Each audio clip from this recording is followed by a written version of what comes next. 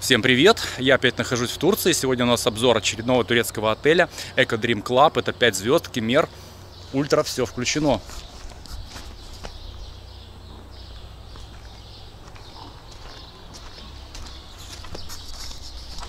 Конечно же, это была шутка, хотя это совсем не смешно, а на самом деле даже печально.